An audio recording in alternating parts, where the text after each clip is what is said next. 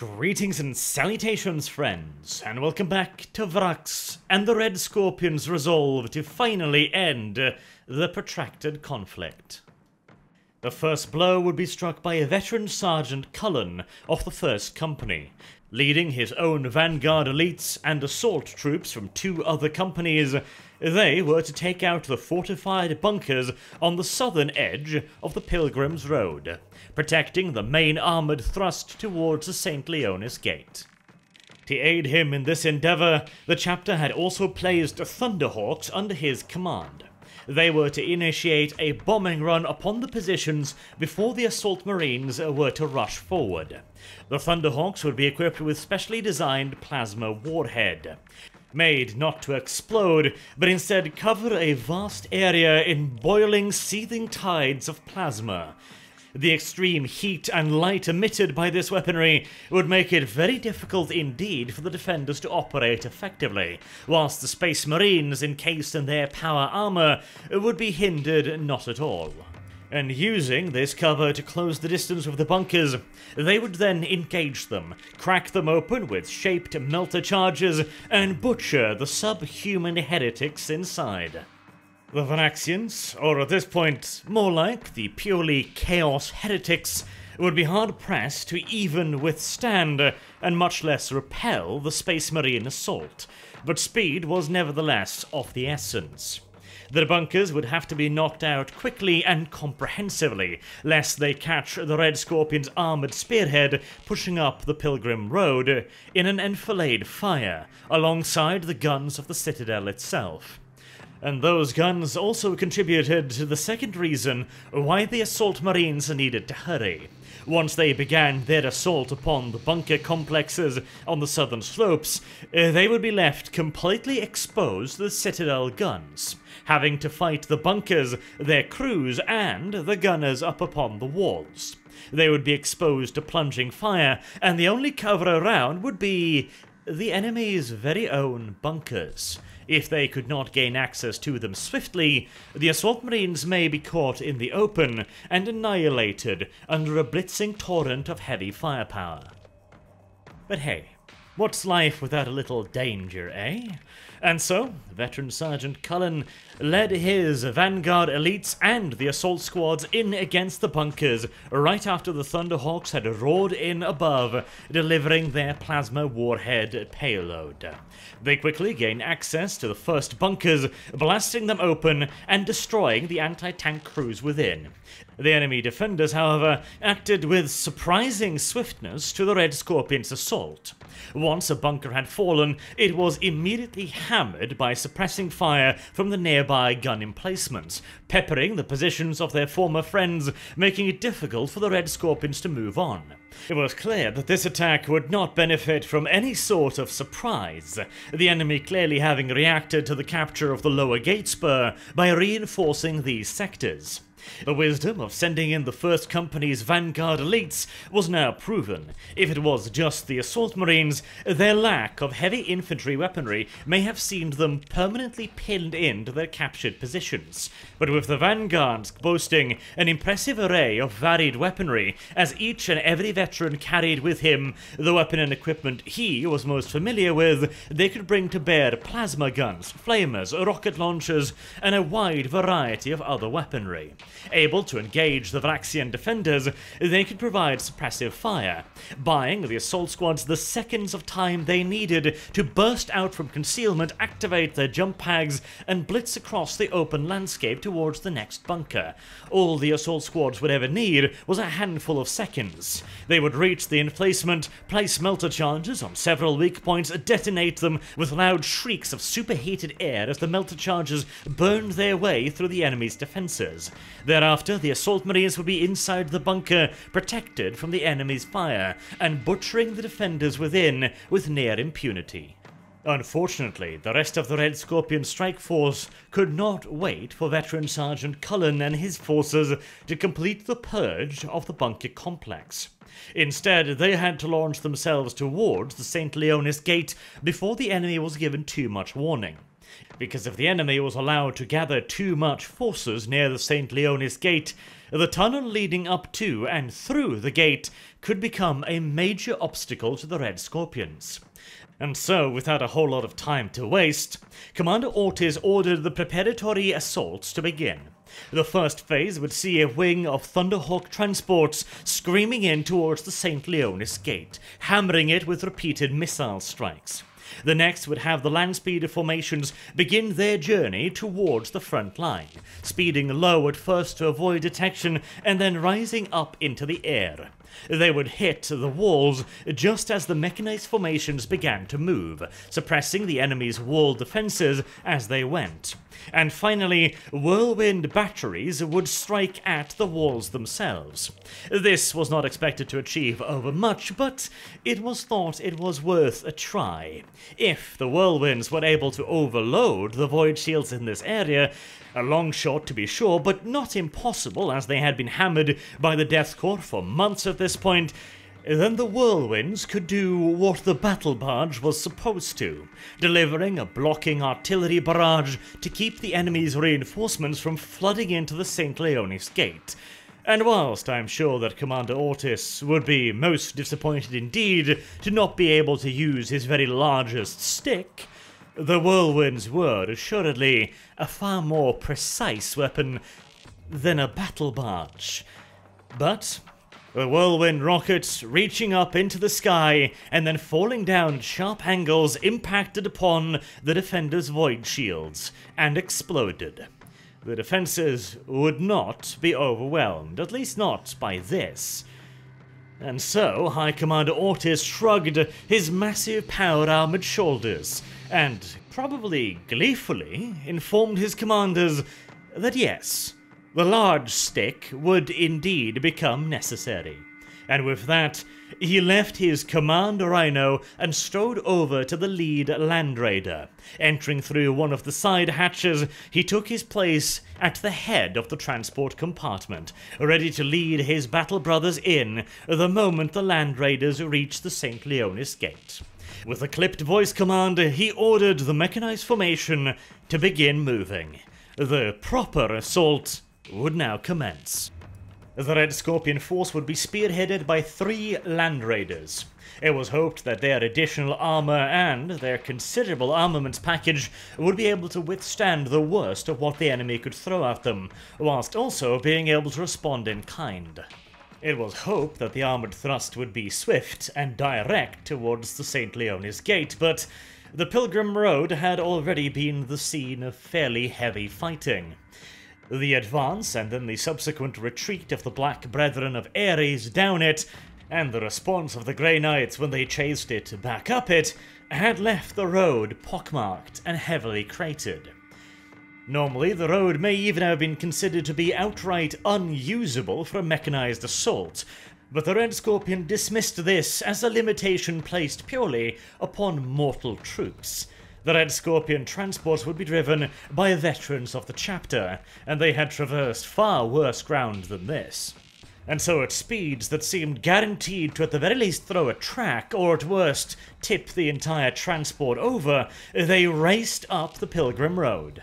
Additional difficulties were encountered when they reached areas of the Pilgrim Road that had once been steps, this having been essentially a footpath back in the day when pilgrims were travelling up it towards the Basilica of St. Leonis. These steps had been reduced to nothing more than piles of rubble when the Black Brethren stormed down the road, and now they were little more than piles of rubble and rebar, presenting potential hazards to the tracks of the rhinos. They could easily get entangled, or if they got caught in a bad position, get ripped off entirely. And due to the narrow nature of the road, if a rhino got stuck here, there would be no other option than to simply push it off the side and into the deep ravine to the right. Even the Death Korps of Krieg had balked at such instructions, to simply push their comrades and their war machines off a steep cliff. If the Red Scorpions would do the same was a question that the Lord Commander hoped he would not have to find the answer to. And despite the best efforts and the skill of the drivers, these portions were forcing the spearhead to slow down, and they were beginning to take concentrated fire from the wall guns. Off to the right, Veteran Sergeant Cullen had still not completed the clearing of the bunker complexes, and there were fire coming in from that direction as well, but it was light and disorganized. Whatever the Veteran Sergeant was doing, it was clearly working. Up above, the land speeders now also made their entrance zooming in close to the wall at high speed, strafing it with rocket pods and heavy bolters. They were, in reality, doing little more than chipping the permacrete, but it would at least encourage some of the defenders to keep their heads down and their aim off the Red Scorpions. But whether or not it would be enough was an entirely different question. Inside of the first Land Raider, it was getting hit so rapidly and so consistently that the very walls shook, and it was a deafening cacophony inside, as an endless stream of heavy bolter and autocannon rounds hammered into the Land Raider's hull. It really did become a question of simple math with tens of thousands of projectiles raining down upon the relatively thin upper hull of the Land Raider, it was only a question of time before one of them found a way through. A round sliced through the upper armour and straight into the vulnerable engine compartment, tumbling around in it and wreaking terrible damage upon the machine within. This alone was not enough to cripple the squat, heavily armoured vehicle, but it did cause a momentary loss of power. The Land Raider slowed, and now it was not only the lead vehicle, it was also the slowest and easiest to hit. And so the intensity of the bombardment drawn by the Land Raider increased proportionally.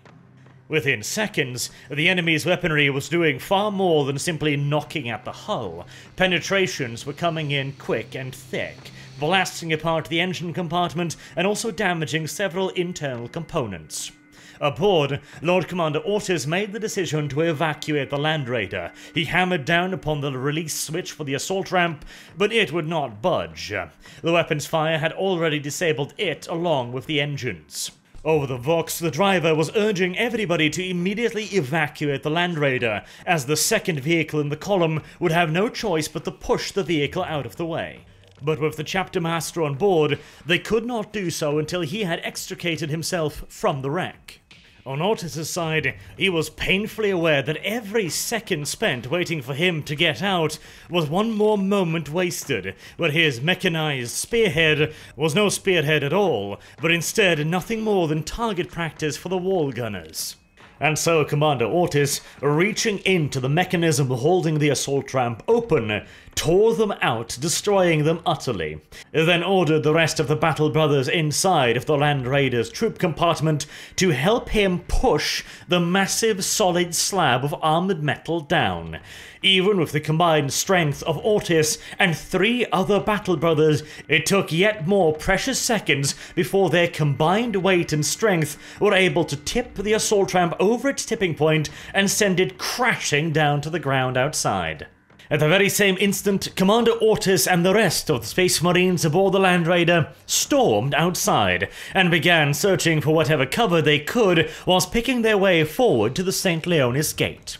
Receiving the word that the chapter master had evicted the vehicle, the second Land Raider in the line rammed the first one aside, although a little bit gingerly, pushing it over to the side of the road, which would leave just barely enough room for the second Land Raider to pass without having to tip the venerable old machine over the edge.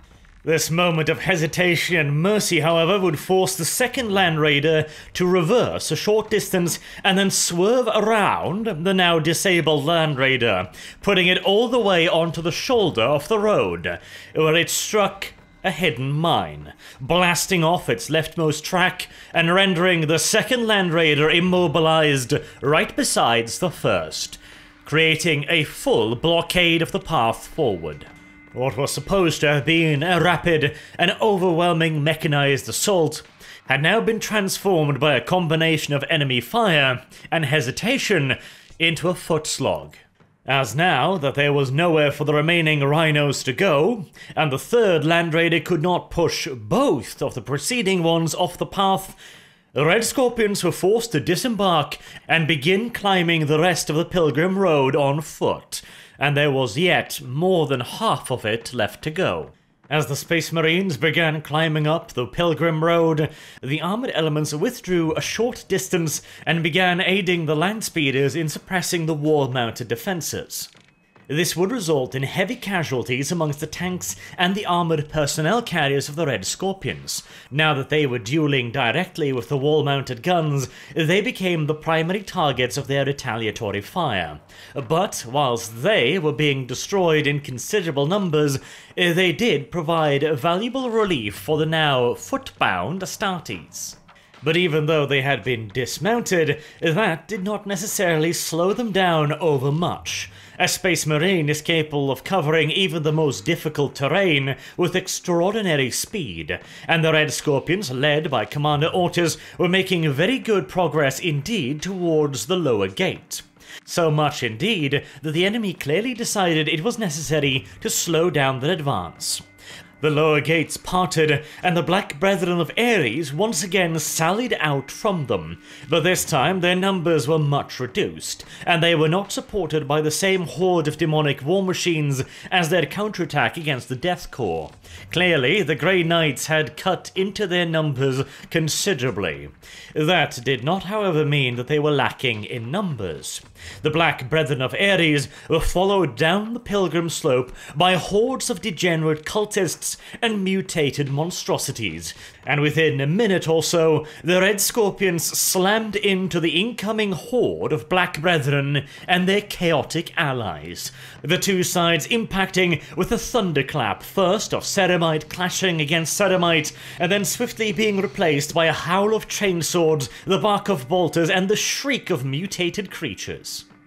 And at the forefront of it all was Commander Ortis, standing like a castle wall, batting aside Chaos Space Marine and charging mutants one by one. His brilliantly arcing and blazing power sword cutting a glowing path through the traitors. And also acting like a beacon of resistance for his brethren, who fought on yet harder for seeing it. But soon the two sides were at a complete standstill. The Black Brethren of Ares were veterans of many a campaign and were a match for even the Red Scorpions.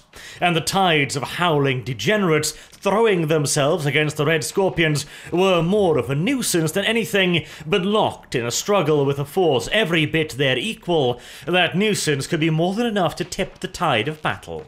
Commander Ortis was faced with a difficult decision. Either he ordered the land speeders to disengage from the wall guns and begin strafing the hordes pouring out from the lower St. Leonis gate, or he risked being overrun, but doing so would free up the gate gunners and allow them to concentrate on his Astartes, now without the protection of their armoured vehicles. But speaking of those armoured vehicles, they were also living on borrowed time. The longer the Red Scorpions would require them to keep up a covering barrage along with the land speeders, the fewer of them would be able to survive.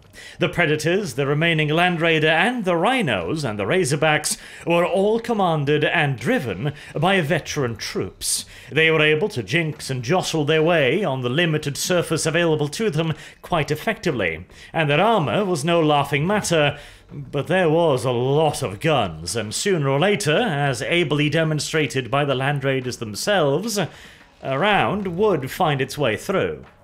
Throwing caution to the wind, Lord Commander Ortiz ordered the land speeders to refocus on the enemy infantry, and soon they began swooping down across the hordes still streaming out of the lower gate. Strafing them with heavy bolters and rockets, they were blasting huge chunks out of the assaulting forces, giving the Red Scorpions just enough of a breathing space to begin pushing forward and securing a real foothold. Once they were properly organized, volley upon volley of bolter fire could keep the area in front of the Red Scorpions open, and the chapter's elites, commanded by Ortis himself, could launch counterattacks to push back the enemy. This eventually resulted in enough space being gained for the chapter's dreadnoughts to be brought up. They had previously been relegated to the rearward areas, unable to maneuver effectively in the throng, and unable to withdraw either uh, due to the mechanized elements requiring all the space that was available. But now, they had been given enough room to begin maneuvering again, making their way over to the cliffside, facing up towards the curtain walls. Using their bipedal locomotion, they began climbing up the steep side, grabbing onto it with their and dragging themselves up and out from the general melee. Soon they gained elevated positions with improvised footholds or small plateaued areas along the side of the cliff. Most of these ancient machines had been equipped specifically to fulfill a fire support role, to shatter hordes just like the one they were currently facing, although they were meant to engage them within the confined spaces of the long tunnels leading up to the St. Leonis Gate. But their weapons were just as effective here. Soon, rocket pods, autocannons, heavy bolters, and even plasma cannons began gouging vast holes in the charging horde, and their weaponry was more than accurate and devastating enough to pick out the Black Brethren as well and eliminate them with extreme prejudice, whilst not endangering the Red Scorpions. Finding themselves under fire by the dreadnoughts from on the cliff, from above by the land speeders, and engaged with the unyielding wall of red scorpions to their front, the Black Brethren of Ares began withdrawing, throwing their puppet soldiers and their abominations in front of them to allow themselves to escape back into the lower gate. The Red Scorpions had withstood the enemy's counterattack and repulsed it, but now they had to hurry. They had to pursue the Black Brethren and quickly, gaining the protection of the lower gatehouse, otherwise, the weapons built into the bastion walls would swiftly begin targeting them once again. And now that the land speeders had been forced to break off and engage the horde of infantry, they would be able to engage the Red Scorpions with full efficiency. Still at the head of the advance, Commander Ortis, raising his power sword, waved his battle brothers forward, and they began rushing up towards the lower gate. Reaching it, he took a second to reorganize his troops and prepare them for the breach of the gate. This would be the do or die moment. The Red Scorpions would have to cut their way through the defenders, still numbering in the thousands with Chaos Space Marine support, and up the lengthy tunnel to the St. Leonis Gate. And this would all have to be done quickly, because if it was not, uh, then they might very well be checked and held outside of the gate, as they had already feared. In such a situation, the Red Scorpions would slowly but surely be picked apart. But before any attempt could be made to breach the gate, it once again began to grind open. Commander Ortis dropped into a fighting stance and prepared himself to meet yet another wave of traitors and Chaos Space Marines. But this time, he would be faced with something far more horrendous. The Black Brethren and the initial counterattack had all been done purely to gain time, to make sure that the rituals were completed in the correct fashion and guided towards the appropriate target. Out of the lower gate now came yet another horde of howling demons and monsters spawned forth from the warp, and they met the Red Scorpions head on in point blank fighting. Initially, the Red Scorpions were tossed backwards. Lord Commander Ortis standing in the middle of a seething tide of demons, laying about him in all directions with his power sword, barely keeping them at a distance, as their hellish weaponry carved through power armor as if knives through butter. The casualties swiftly began mounting. The land speeders once again swooped down to add their own firepower to the heaving mass of melee. It was time for Lord Commander Ortis to play his trump card. Calling down his Terminator elites, locking down onto his own power armored suit's beacon, they appeared in the middle of the battlefield. An exceptionally risky deployment of the First Company's veterans, as they could very easily have ended up within the cliff wall to the left, or right above the vast chasm to the right. The timely intervention of the Terminator elites equipped for close quarters battle with lightning claws and thunder hammers tore into the demons and halted the almost rout like conditions coursing through the Red Scorpions. With the Terminators at the head uh, and Lord Commander Ortis leading them, the Red Scorpions began pushing back, trying to make for the gate opening. If they could gain entry into the bastion itself, at the very least they would gain cover from the wall guns, who were now beginning to train more and more upon the Red Scorpions, instead of their armored elements. The land raiders once again found themselves forced to retarget the wall guns to ensure that the heavy batteries did not begin raining down on the Scorpions, especially not now that they were caught in a life or death struggle with the demons of chaos. The combat flowed back and forth for several savage minutes, the Red Scorpion's casualties mounting drastically. First, the banner bearer of the First Company fell to a juggernaut, moments before it was dispatched by a point blank plasma blast, sending it screaming back into the immaterium. Then, veteran chaplain Nair fell as well, pierced through the torso by a screeching hellblade as the chaplain stood astride half a dozen demonic carcasses.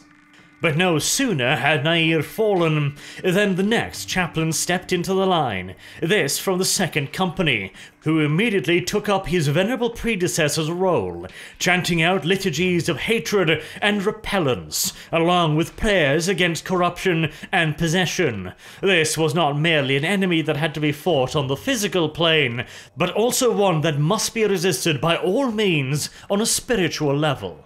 But despite the best efforts of the Red Scorpions, the tide of demons seemed to have no end as they kept simply pouring out of the gatehouse. They began overwhelming the Terminator elites, dragging them down one by one, and then cutting them to pieces. Tactical dreadnought armor was able to withstand even the Hellblades of the demons, but once they lost their footing, they were quickly overwhelmed, and dozens of claws and yet more screeching saws hammered into their thick plates, tearing them apart eh, section by section, until finally the soft flesh beneath was exposed to their none too tender administrations, ripping them apart and bathing in the fountains of blood jetting out of their ruined corpses. As always, at the front, High Commander Ortis was fighting for his very life, in one of the most savage confrontations he had ever been involved in. He saw the Terminator to his right killed by a huge claw wielded by a half demon, half man creature, possibly one of the Red Hunters that had been possessed. Regardless of what it was, it was strong enough to tear half of a Terminator captain's torso clear from the rest of his body. Commander Ortis swiftly lunged towards the half-human, half-demon monster, impaling it through the head with his power sword. But even as the abomination died, it whipped out in a snake-like movement, slamming into the High Commander's cuirass, shattering it and the solid wall of bone in his chest, sending him flying, heavily wounded smashing into the cliff wall and landing awkwardly, breaking his helmet upon impact with the cliff. The commander was dazed and very close to passing out. Through foggy vision, he saw a pair of apothecaries begin to rush towards him to stabilize and hopefully save their commander's life. But as he saw them, he also caught a glimpse of movement out of the corner of his eye. Just as he was preparing to give the order for the Red Scorpion assault to begin their withdrawal, lest they all be slaughtered, seeing as they could not break through the demons, and thusly they would soon be bracketed and annihilated by the wall guns, a flash of light made him halt. Suddenly, the demons were being attacked from above. Veteran Sergeant Cullen had completed his task of clearing out the bunker complex, and now, along with the assault specialists of two companies and his own vanguard elites, they were slamming into the demons, who had not seen them coming. Flamers, plasma guns, multi-melters, crack grenades, and frags began detonating in their midst, followed in seconds later by roaring chainswords, lashing chain axes, and power swords. Such was the ferocity of this unexpected assault that the demons began wavering, their connection to the mortal world almost completely severed. As he saw this, Commander Ortiz, despite his wound, shrugged off the administrations of his apothecarians, raised his fist towards the sky, and bellowed at the top of his enhanced voice for the Red Scorpions to make one last ferocious push for the gate. As one, they surged forward and overran the demons. They were cutting them down now by the dozens, and soon they became immaterial, incorporeal, and began fading back into the immaterium. One second they were there, real and deadly as anything, and the next they were nothing more than screams carried on the wind. And with the disappearance of the demons, the path towards the lower gateway was also left open and unguarded. The traitors had miscalculated. Up until now, the demons had been the ultimate trump card, able to repel almost any incursion, but this time they had failed. The traitors desperately tried to close the gate, and did barely just manage so, but not before the assault marines were flush up against it, placing melter charges and blasting new holes through it, through which they immediately leapt. Now, the remaining human defenders were in close quarters combat with the assault marines, and the majority of the garrison had been evacuated, lest they get embroiled into the combat with the demons. Swiftly, the assault marines overcame the little resistance within it and began opening the gates once more. Not needing to be asked twice, the remaining Red Scorpions poured into the lower gatehouse and out of reach of the wall gunners.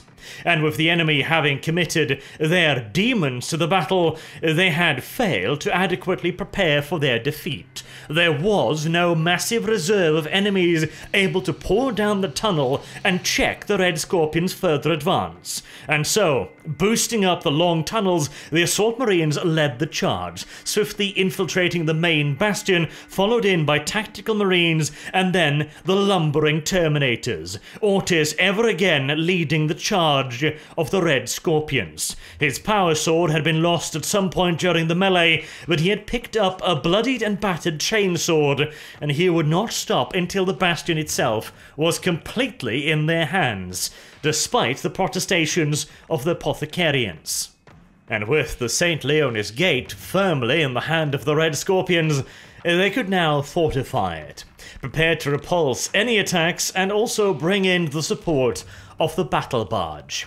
Anything that would be moving towards it would have to get through its line of fire, assuming it could barrel its way through the void shields, but that was a reasonable enough bet. The Red Scorpions had, however, suffered heavily in doing so. Well over half of the brothers that had begun the assault uh, would never again leave Vraks and on the other side of the fortress, where the diversionary attack from the Red Scorpions were attacking the Great Gate, they were not making any real progress. But as a diversion, their operation may have been a success.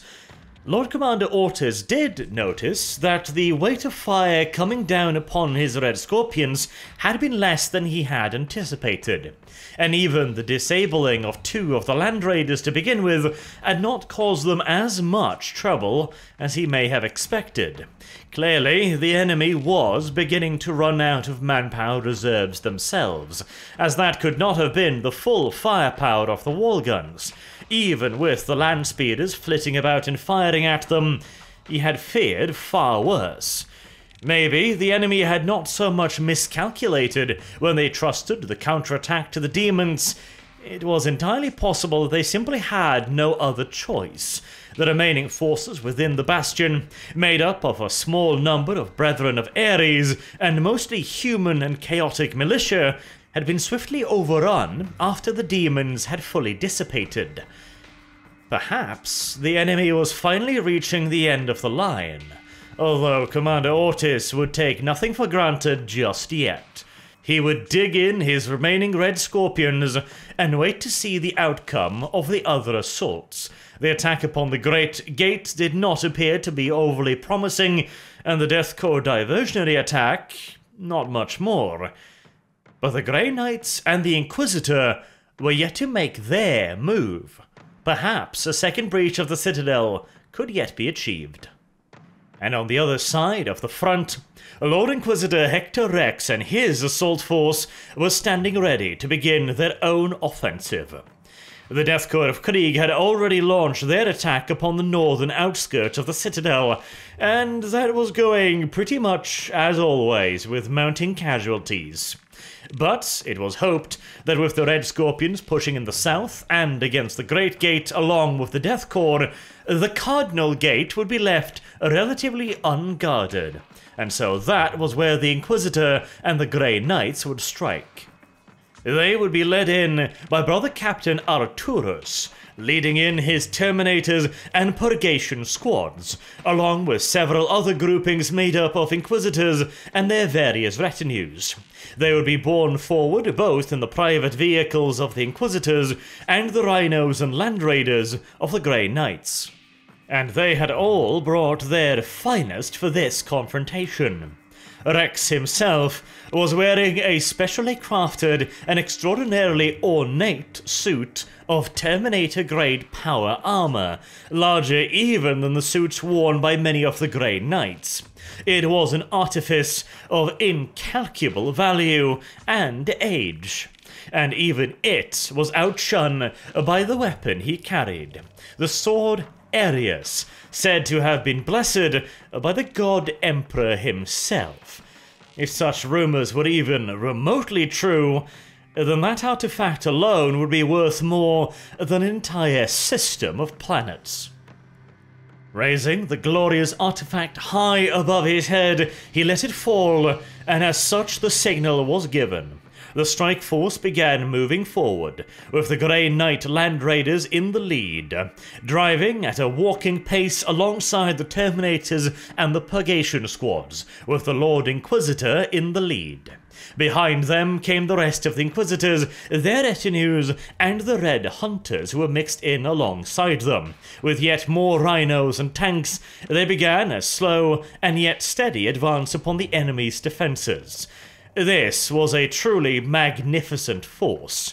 The Grey Knights had already broken the back of the Brethren of Ares during the fight against the lower gate spur, and now they would be no reinforcements, they would be the main force.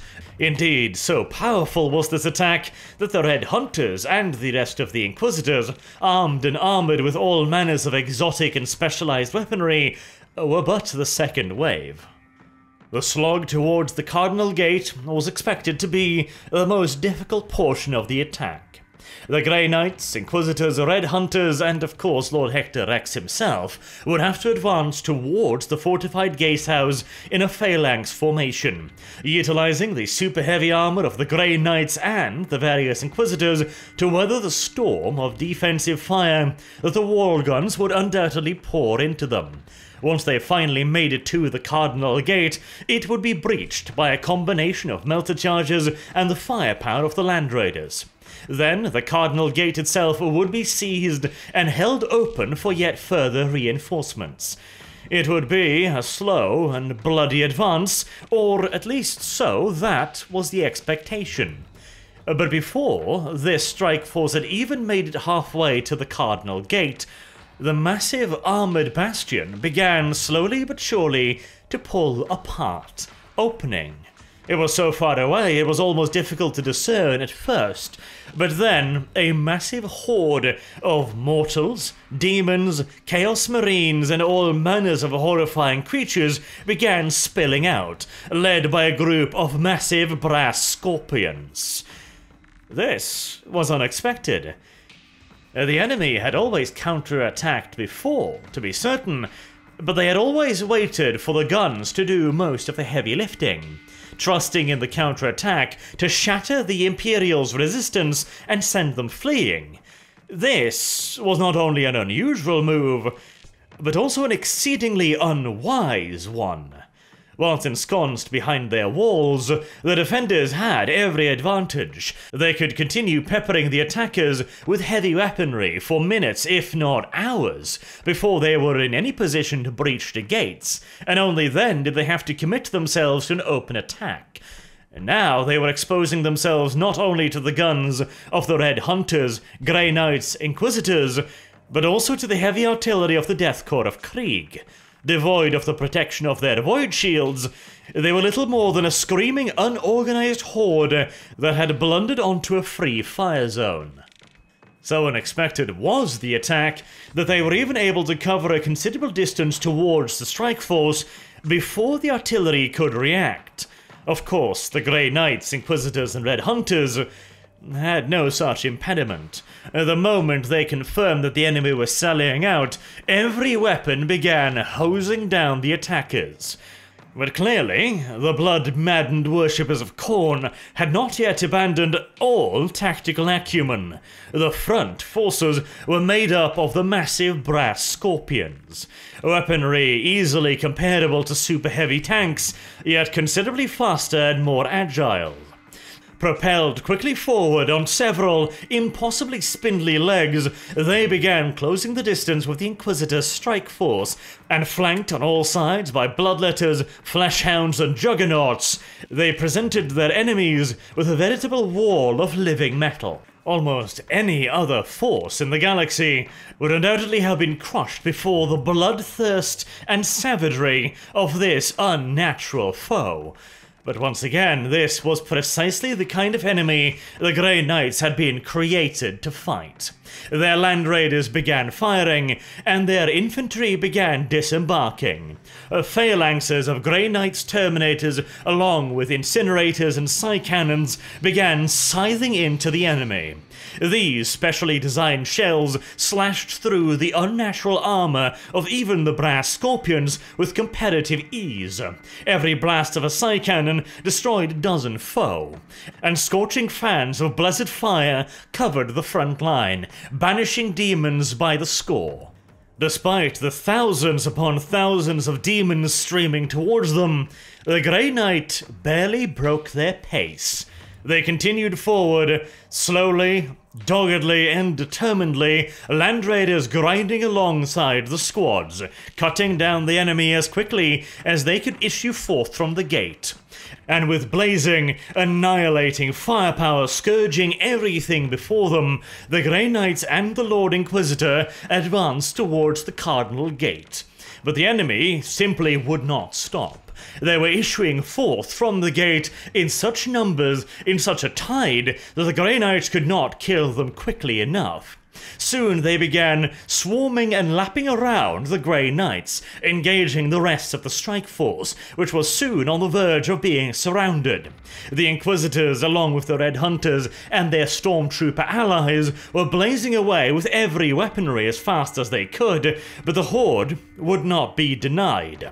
Soon the Grey Knights and the Inquisitor had become almost a detached spear tip, pushing forward to the gate. The Lord Inquisitor having reasoned that if only it could be blocked by the Grey Knights and his personal retinue, then the rest of the strike force could deal with the enemies already outside without the fear of yet further thousands issuing forth from the gate and drowning them in sheer numbers. But despite the apparent threat, Lord Hector Rex nevertheless was given pause for all of this. The enemy seemed to be throwing their lives away with remarkable carelessness. It's not like they didn't know that the Grey Knights were here. It's not like they did not know what they were capable of. The Black Brethren of Ares had already suffered quite badly at their hands, and even if they saw some advantage in issuing forth and engaging the enemy in open battle, they must have realized that this was far from the optimal way of doing things, and whilst the enemy might be chaotic, they were also clever, vile, and deceitful.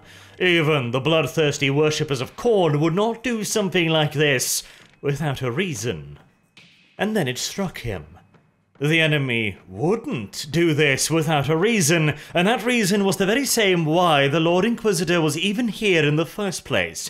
He had come specifically to prevent the servants of the vile Chaos Gods from turning Vraks into a demon world, and this appeared to be the very height of that ritual.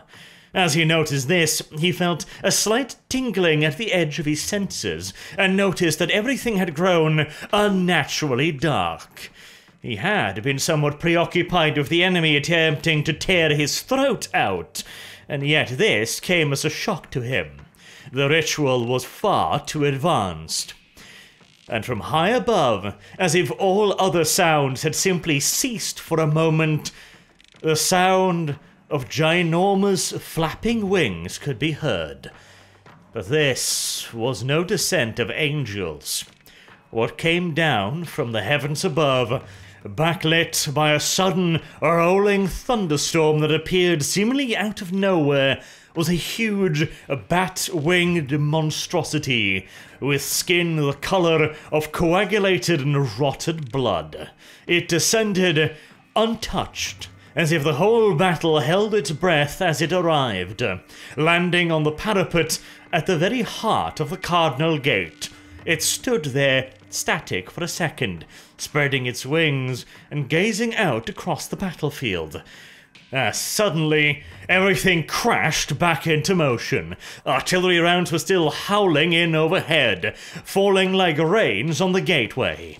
The demon simply stood there, red hot shell fragments pattering harmlessly off his hide, as he scanned the battlefield looking for something.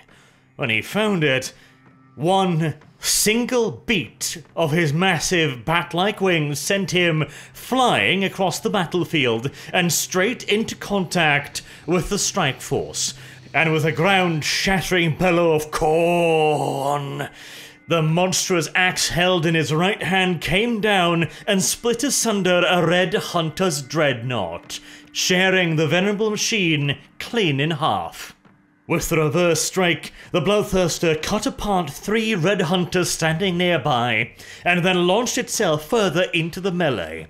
Its next victim was a Grey Knight's Land Raider, blazing away at it with its sponson weaponry, but unable to reverse quickly enough. A single blow from the axe sent the Land Raider flying through the air, its hull buckled and crushed like a tin toy and whilst the axe was reaping a bloody bounty for Khorne, the lash arm too whipped back and forth, sending it sneaking unnaturally out, claiming the lives of yet further Grey Knights and Red Hunters as well. Wherever the lash struck, no matter with how little apparent force, it crumpled power armor and tore men asunder. No regular force could ever hope to stand against such a creature, a being of slaughter made manifest. And yet, once again, this was the kind of enemy that the Grey Knight had been created to fight. Brother Captain Arturus, gathering his Grey Knights, charged the beast, and they all unleashed their psychic power towards it simultaneously, battering the towering monstrosity with waves of psychic force and lightning, shearing into its skin, burning it, and ripping chunks of flesh from its body. Finally, something was working, and An'ggrath roared its pain towards the sky before diving towards the Grey Knights. First slash of his axe catching one battle brother just above the hip and sending him flying, his armor having barely saved his life, but he was now laying gutted on the ground. The next battle brother was crushed beneath a massive hoof as the demon stomped down upon him, squashing him and crumpling his power armor. Yet still the Grey Knights came on, pouring yet more psychic power into the demon, causing it unimaginable pain. But the Grey Knight's psychic reserves were not infinite. Brother Captain Arturus blocked several blows from the massive demonic axe, pouring every last piece of strength and faith into augmenting his weapon to resist even the weapon of Khorne's chosen champion, as his brethren laid into it with every weapon at their disposal. But one by one, the Grey Knight's numbers began to wilter and wane, until finally only the brother captain was left, trading blows with the towering monstrosity, slicing into it, cutting it apart, even as it landed yet more and more telling blows upon him. Finally, the brother captain's strength was almost all but spent. One final effort, he raised his halberd and infused it with the last of his psychic potential to block one more blow from the bloodthirster. But this time, even his nemesis Force Halberd could not stop the weapon, as it fell down with unresistible might, shattering the halberd and burying the blade all the way down into the brother captain's torso. The combat had lasted seconds, a minute at the most, and it had left the entire Grey Knight strike squad butchered in the Bloodthirster's wake. And yet that was still not the end of the demon's rampage. With the best of the Grey Knights defeated, the monstrosity launched itself into the rest of the advanced strike force, and for several more minutes it would run rampant, shattering almost the entirety of the Grey Knight force, and several other elite warriors of the Red Hunters, along with tanks and dreadnoughts sent to stop it. But then, suddenly, An'ggrath turned towards the Cardinal Gate, and with one beat of its huge wings, it propelled itself away with breathtaking speed, leaving the remaining Grey Knights and the Red Hunters shocked and shattered. They barely constituted a threat anymore to An'ggrath, but there was one thing that could still be the end of him. And so he seized upon that target as his final victim. Once whatever was bearing that beacon of power over by the gate had been crushed beneath his mighty tread, there would be nothing left on this world to stop him, and he would be free to claim it in his master's name. Near the Cardinal Gate, Lord Hector Rex had been pushing forward with a small squad of stormtroopers and his personal retinue, trusting the Grey Knights to deal with the demon. But clearly, the Bloodthirster had other plans. Slamming into the ground with a near meteoric impact, it shattered the permacrete beneath its thread and immediately went on the offensive. The whip slashing out and claiming the lives of a squad of stormtroopers in a single crack. Next, the massive axe descended upon the source that had drawn it here, the beacon of power that still could hurt the mighty Bloodthirster. But Unexpectedly, the mighty axe was checked. It met a wall as solid and unmovable as it itself was irresistible.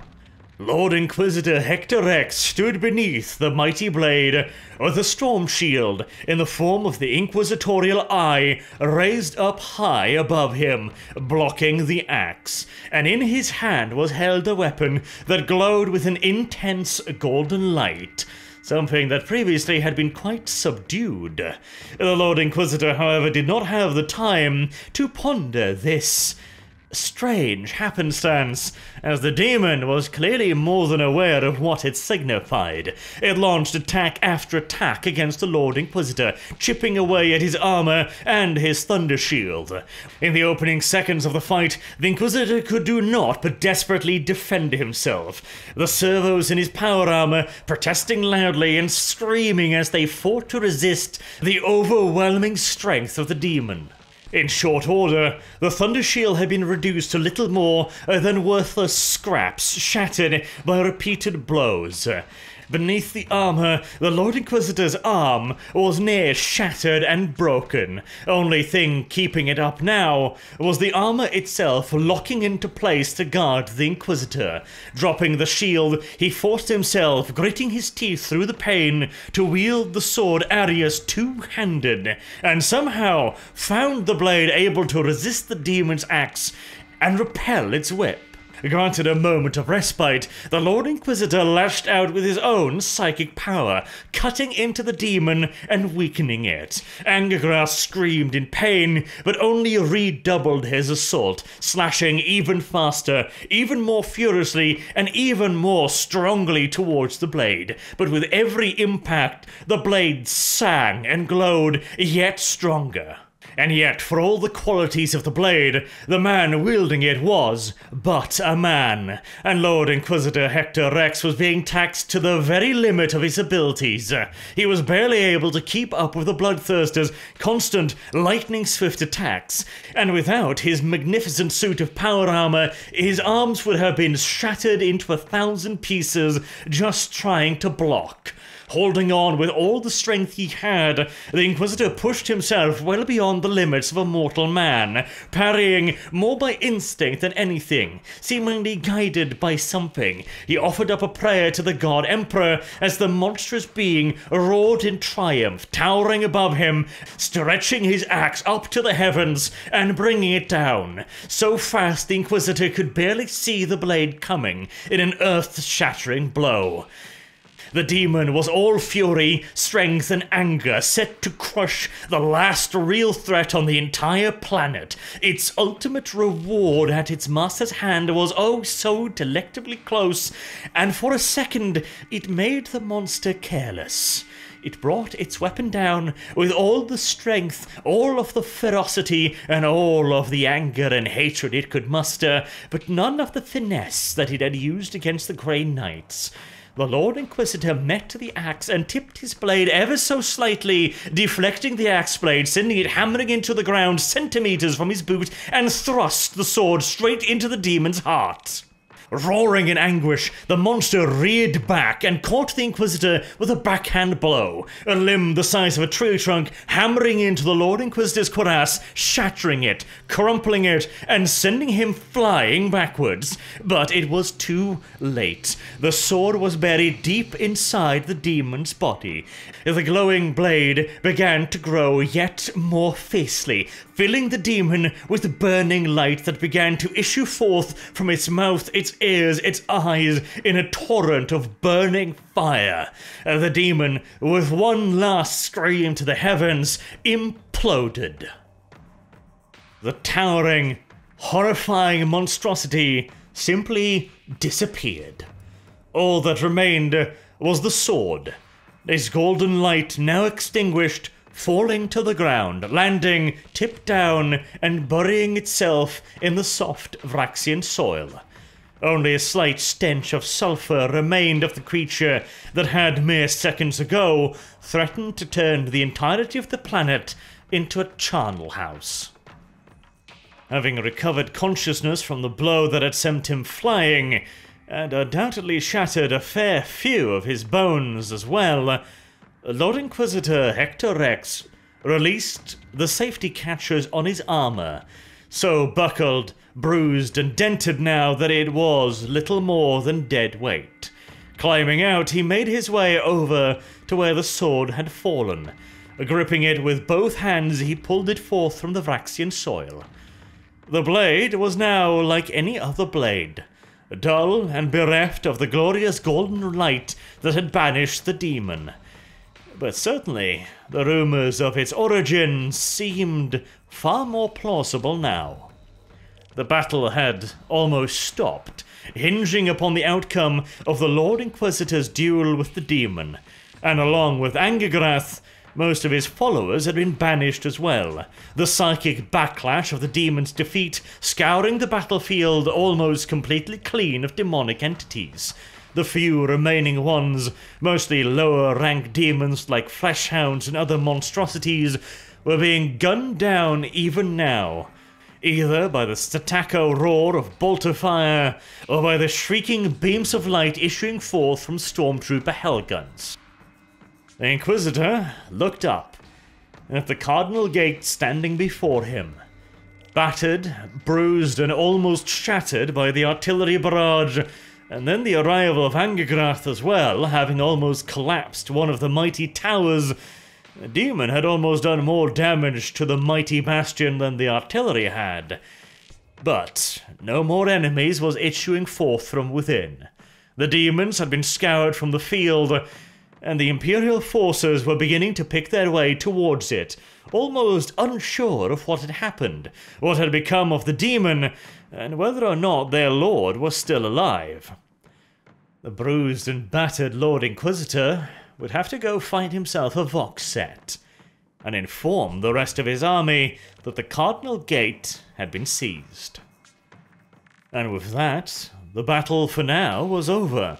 The Red Scorpion's force was far too battered and bruised to make any immediate push out from the St. Leonis Gate.